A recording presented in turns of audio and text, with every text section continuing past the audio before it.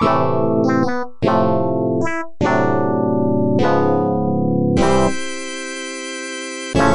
slow motion, the flowers fell from my hand and shattered like glass. And when I looked into the mirror, I was a beautiful milkmaid.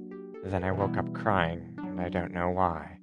Well, I once had a dream that I was a baby pig living on a farm. Oink, oink, oink. No, you don't understand. It was a life changing vision. I may never be the same. Professor! Dumbledore, we need your help. Magical emergency. Oh boy, let's go.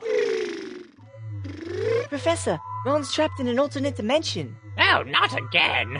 Oh, it's the most terrible thing. It tickles in all the wrong ways. This wouldn't happen if you weren't so fat.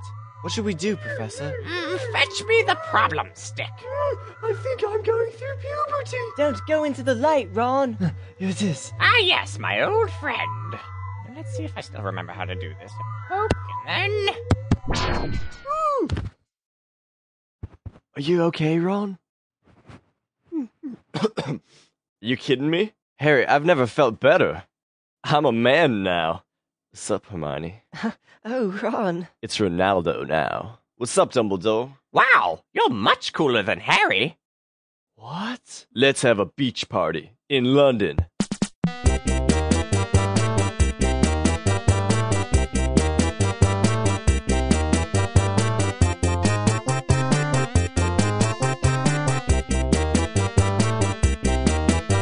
No! No! Pituitarius shrinky dinkiest!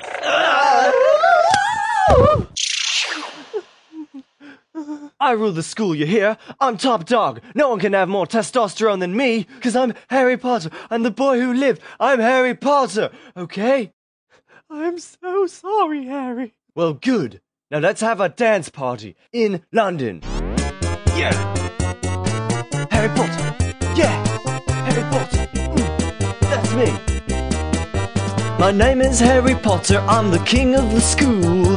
I'm better than everybody in the school.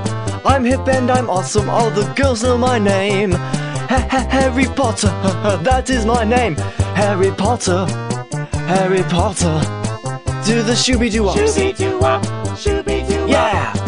I defeated Voldemort when I was a baby. I was even awesome when I was a baby. Both my parents died when I was a baby. I grew up abused without any love. Harry Potter. Shooby doo wop, Harry Potter. shooby doo wop, Harry Potter. shooby doo wop, shooby doo wop. That's me!